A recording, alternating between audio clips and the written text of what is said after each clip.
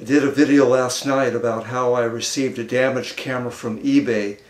It was shipped in a thin bubble wrap shipping envelope without any any real cushioning and when I received it it was separated at the top the body had completely come apart and the lens barrel was shoved in and of course it wouldn't open at that time. Well after I was finished fussing around on the computer it was about 12 o'clock at midnight I took it into the kitchen loosened the screws on the camera there were two on the bottom, one at the top, and two on the side. And when I was able to separate it just a little bit, I realigned it and somehow got it snapped back together again. And now it's it's working.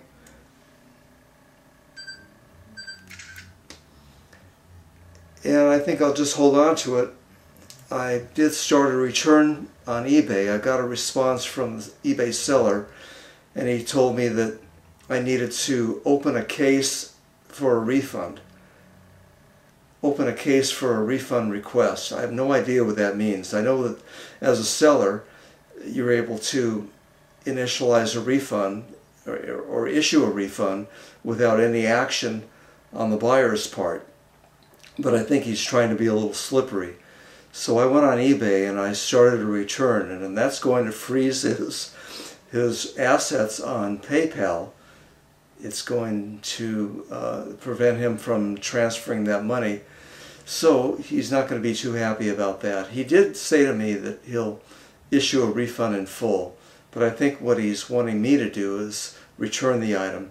And I can't see uh, paying shipping costs on a damaged item to return it. So I think I'll just I'll just keep the camera now that it's working and if you know, he shouldn't have shipped it. I know as a, as a seller, you do not ship a camera in a bubble wrap shipping envelope. You give it more padding than, to protect it, especially when it's traveling clear across the country from Ohio to Sacramento. So that's where it stands right now. But I do have a working camera, and aside from a small dent in the lens, originally I reported it as a heavily damaged lens. It's not all that bad, and I'm and, and if I can get some use out of it, I will.